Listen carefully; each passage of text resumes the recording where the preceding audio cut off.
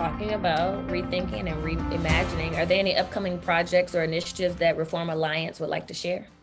Well, I would like to share that today the governor in Mississippi signed into law one of the bills that we've been working on to increase parole eligibility. So we're very, very excited about that. Um, we've got a, so that's going to lead to thousands of people coming home. Some of those were people who, who were in there with decades on their sentence left. And um, we're very excited because the law actually says you, you would only for those kinds of crimes have had to serve 25% or 10 years. And then you can go in front of the parole board. So excited to bring a lot of people home down to Mississippi. We've got a bill on uh, Governor Kemp's desk in Georgia a probation bill that will allow people to terminate their probation early. Knock on wood. Hopefully, he's signing it. We've got a bill in Virginia um, that we were just able to to pass that caps probation.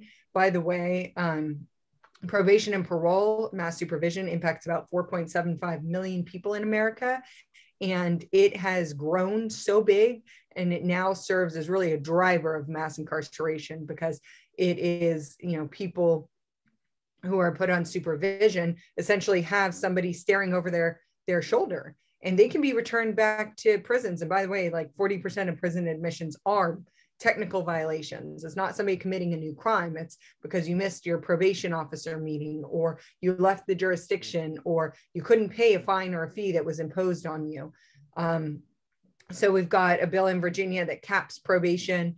We passed some bills in California doing the same thing, radically transforming the law there.